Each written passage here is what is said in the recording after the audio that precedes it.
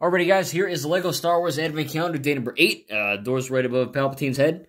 So, uh, we're just gonna open that up. And we have a battle droid, a B-1 battle droid. Pretty cool stuff there. That one's, uh, I don't have to Google that one. Finally. We got a clone trooper and a battle droid, so that's, uh, that's perfect. So, I will build this, and we'll see you guys in a second. Roger, Roger? Alright, and here is the battle droid all complete. Nothing too insane there. I have a bunch of battle droids, uh, probably with a bunch of Clone Wars sets downstairs. But uh, it is kind of cool. I do kind of wish they had a little bit of like a Christmas thing to it, maybe. Kind of with like the rest of them. I think. He I think. a Santa hat. Yeah, I think Omega's the only one because she's got a sleigh over here. Here, let me. There you go. Roger, Roger.